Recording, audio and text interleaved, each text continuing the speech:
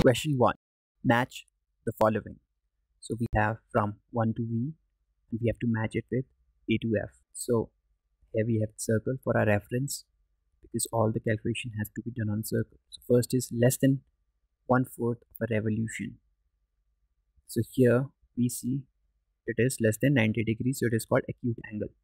More than half a revolution. It is more than straight angle and less than three fourth of an angle. So it is called reflex angle. So we'll match B with V that is reflex angle. C part. Half a revolution. It is very simple. It is a straight angle. So we will connect 1 to C. Now D part.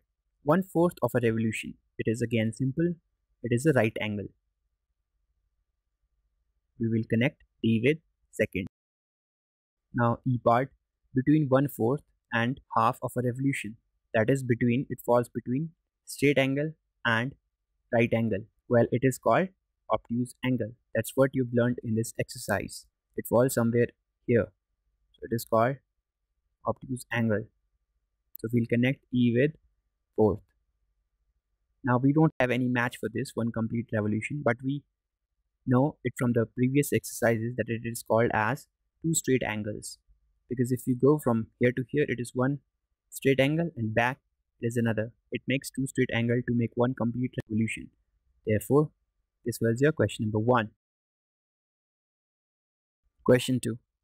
Classify each one of the following angles as right, straight, acute, obtuse, or reflex. So these are the following questions A to F. We'll have to see whether which one falls to which. So A part acute angle. Well, acute is less than 90 degree or right angle. So it is, you can see here if you extend it here, like this it will make 90 degree in any of the direction. So you'll get acute angle. So this was your a part. Now b part. Obtuse angle falls between straight angle and right angle. So this would be a straight angle. This is your right angle. In fact we can construct it in this question itself so this is your straight angle. That is 180 degrees. And this is your 90 degrees or right angle. So it falls in between it. Therefore it is obtuse angle. Here it is very simple. This is straight line and it is vertical over it. Although we don't represent it in this manner the right angle is represented by making a square. So this is your right representation for C part D is reflex. Reflex is more than your straight angle. If you construct a straight angle here so we can construct from this ray. These are two rays. And if we construct a straight angle in this direction like this so this is your straight angle but this angle is more than this. So it is a reflex angle. Therefore D is reflex